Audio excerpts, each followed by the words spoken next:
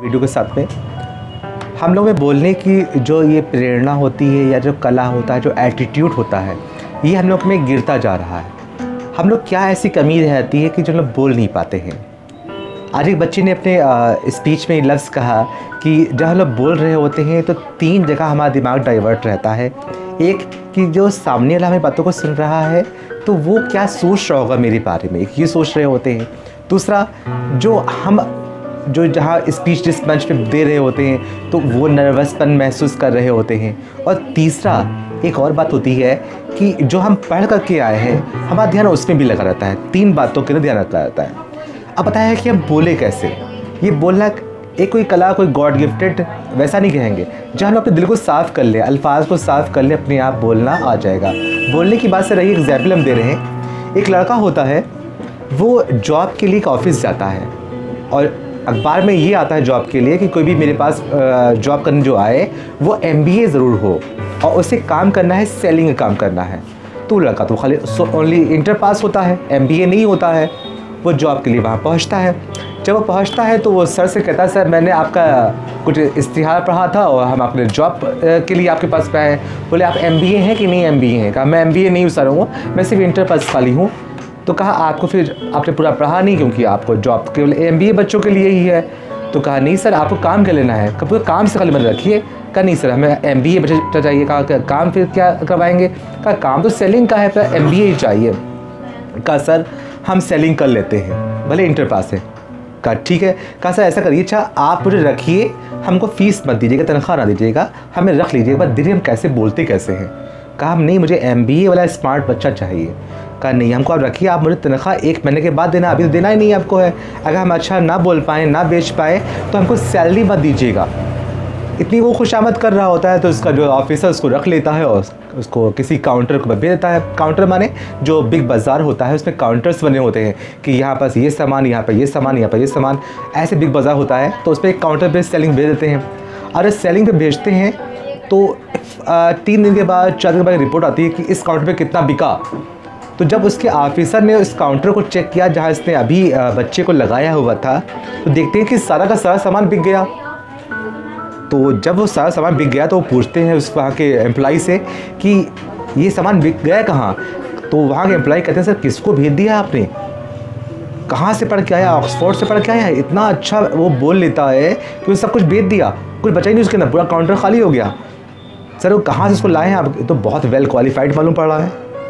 तो कहा मुझे एतबार नहीं हो रहा तो सिर्फ़ सिंपली इंटर है मुझे लगता है। और वो बोल भी नहीं पा रहा था ठीक से। कहा, सर नहीं उसकी आप डीलिंग देखिए। तो वो कहता कि ठीक है हम छुप के देखते हैं कैसी डीलिंग करता है। जब उसका वो ऑफिसर छुप के डीलिंग देखता है तो देखता है कि वो एक आदमी को एक कांटा बेच रहा होता है। कांटा मतलब जिससे मछली को पकड़ते हैं।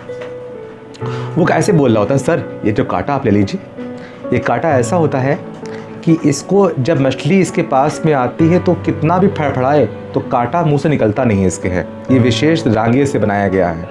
कहा कितने का लेके सर, एक नहीं मिलता, चार मिलते हैं सर लिखने के, एक साथ। कभी वन नहीं मिलता है। कहा कितने रुपये का, पाँच सौ रुपये का? तो वो आदमी उसको परचेज़ कर लेता है। जब आगे बढ़ता है, कहा एक्सक्यूज़ मी सर सर आप इतने खूबसूरत सर हैं, आप इतने. सर आप जब मछली पकड़ने जाएँगे तो सर आपका रंग भी आपका काला पड़ सकता है। तो सर ऐसा करिए कि मछली छत आधे घंटे में आए, पौन घंटे मछली का अपना ज़िंदगी जल्दी भी आ सकती है, देर में आ सकती है। तो सर, एक क्रीम लगा लीजिए इससे आपका रंग डल नहीं पड़ेगा। तो कहा, क्रीम कितनी का? पाँच सौ रुपये की। भाई, क्रीम उसको ले लेता है भाई, फिर वो आगे आता है। इसके में सर सर, आप जो है, बैठेंगे तो आपके जूते कितने सर कीमती हैं? लगता है कि बड़े कीमती कहीं बाहर से लाए हैं। कहाँ कहाँ, ऐसा करें ये जूते ऐसे हैं कि अगर पानी के अंदर भी आप खड़े हो जाओगे जूते फूलेंगे नहीं। कहा, कितने रुपये का पाँच सौ रुपये का। कहा, वाह! तो उसको भी ले लेता है। फिर आगे बढ़ता है। कहा एक्सक्यूज मी सर कहा, आप क्या? कहा सर आप जा रहे हैं, मछली आधे घंटे में भी आएगी, पौन घंटे में भी आएगी तो आप आप भूखे हो जाएँगे सर तो सर ये चिप्स ये कोल्ड ड्रिंक ये सब कुछ है सर खाइए, आराम से खाते रहिएगा और मछली जब भी आएगी इन्जॉय होता रहेगा।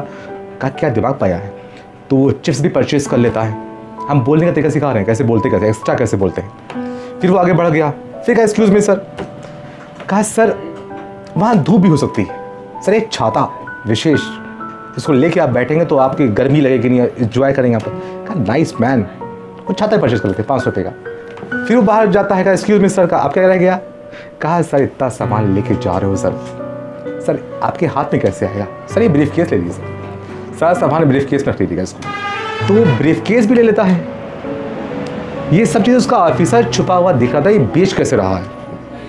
उसके बाद में जब फिर वो एक्सक्यूज़ नहीं कहता है तो उसका वो ऑफिसर आता है, उसका मुँह दबा लेता है। अब तो यार जाड़ दो कभी नहीं को। उसको इसने लेने आया था काटा, और तुमने उसको आटा, यानी उसको आटा ही बेचा, कि आटा मछली को जो है खाएगी तो उसके खुशबू से वहाँ आ जाएगी। उसे कांटा, आटा, छाता, चिप्स और ब्रीफ केस तक उड़ा बेच दिया और लेने आया था कांटा। तो कहा, कितना तुम समझदार लड़के हो, तुम कितना स्मार्ट हो, कितना अच्छा बोल लेते हो। तुमने कला सीखी कहाँ से? बल्कि तुम इतने महान हो कि तुमने लेने आया था कांटा और बेचा, उसको तुमने आटा पाटा सब कुछ बेच दिया। तुम कितने स्मार्ट हो? कहा, कांटा? कौन कांटा लेने लगाया था? कहा आदमी जो ले गया था पड़ोस में, जो उसको ब्रीफ केस दिया। कहा, वो आटा लेने नहीं आया था, ना कांटा लेने आया था, वो अखबार लेने के लिए आया तो मैंने उससे ही कहा, आज संडे अखबार ना पढ़ो, जाके कहीं मछली पढ़ो रखे तो मैंने उसको मछली की आड़ में और सब कुछ उठा के बेच दिया।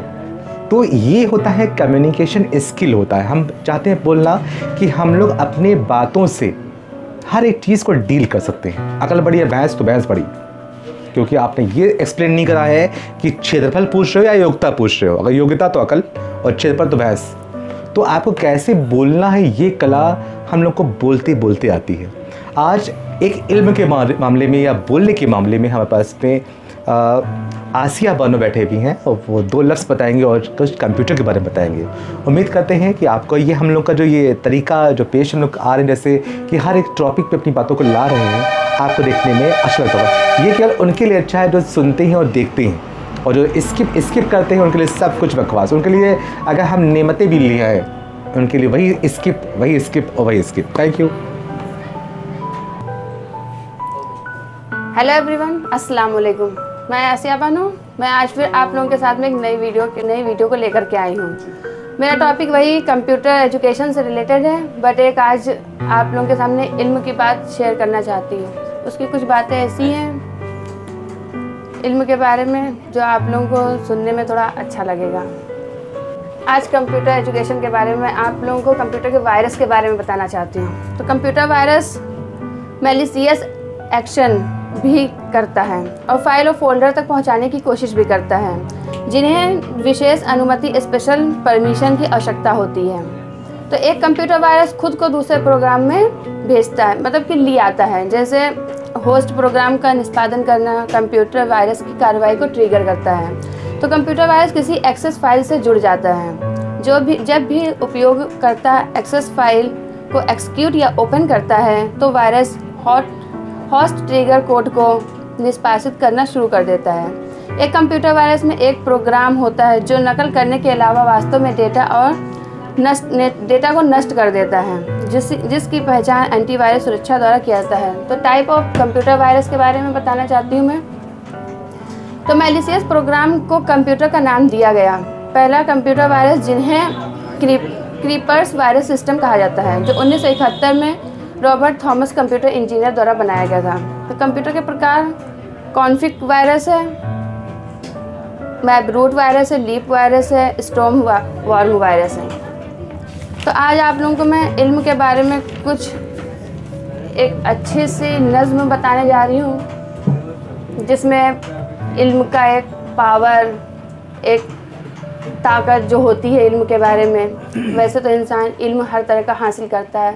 लेकिन एक दुनियावी इल्म होता है, एक दीनी इल्म होता है। लेकिन जिसके पास दीनी इल्म और दुनियावी दोनों होता है, उसकी पावर थोड़ी अलग ही होती है। लेकिन दुनियावी में तो दुनियावी में ही रह जाता है ना। और जो दीनी तालीम होती है जो इल्म उसका होता है, वो तो वहाँ पर भी काम आता है, यहाँ पर भी काम आता है। तो उसी के, आज उसी के बारे में मैं आप लोगों को एक इल्म के ऊपर नज़र बताती हूँ।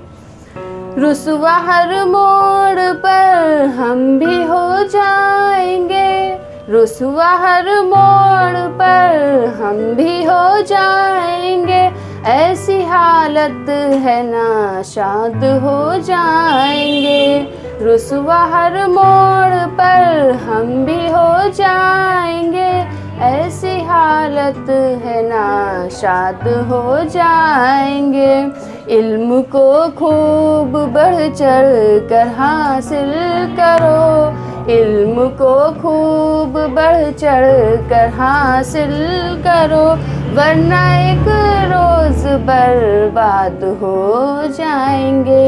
वरना एक रोज बर्बाद हो जाएँगे। रुसवा हर मोड़ पर हम भी हो जाएँगे। ऐसी हालत है ना शाद हो जाएँगे।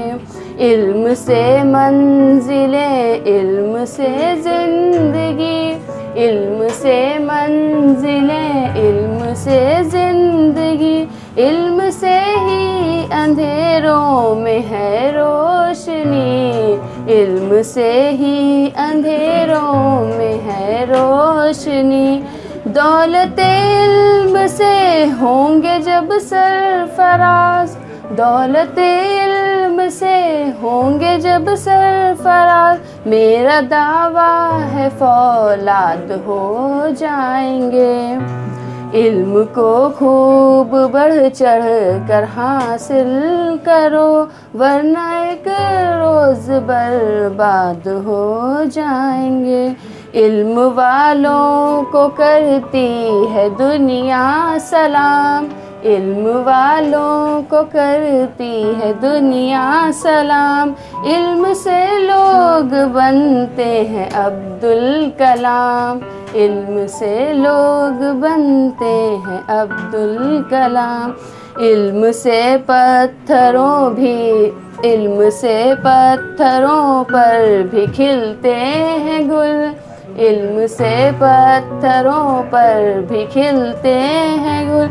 इल्म से शहर आबाद हो जाएँगे। इल्म से शहर आबाद हो जाएँगे। इल्म को खूब बढ़ चढ़ के हासिल करो, वरना एक रोज़ बर्बाद हो जाएँगे।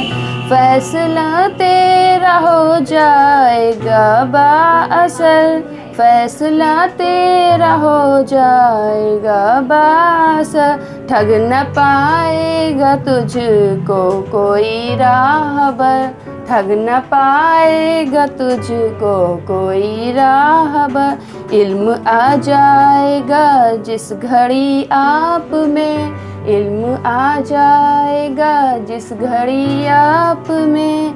हर मुसीबत से आज़ाद हो जाएँगे। हर मुसीबत से आज़ाद हो जाएँगे। इल्म को खूब बढ़ चढ़ कर हासिल करो। वरना एक रोज़ बर्बाद हो जाएँगे। बट रही इल्म की रोशनी हर डगर।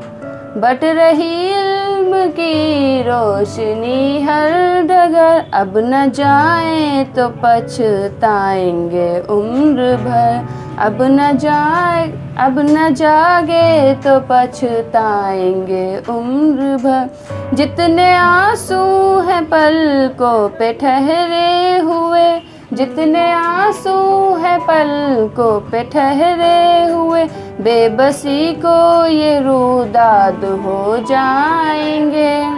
इल्म को खूब बढ़ चढ़ कर हासिल करो वरना एक रोज़ बर्बाद हो जाएँगे। इल्म करता है हर ऐब को बेनकाब। इल्म करता है हर ऐब को बेनकाब। इल्म लाता है हर दौर में इनकलाब। इल्म लाता है हर दौर में इनकलाब। मिसल परवाना कुछ काम कर जाइए। मिसल परवाना कुछ काम कर जाइए। अपनी नस्लों को हम याद हो जाएँगे। अपनी नस्लों को हम याद हो जाएँगे। इल्म को खूब बढ़ चढ़ के हासिल करो। वरना एक रोज़ बर्बाद हो जाएँगे। Thank you so much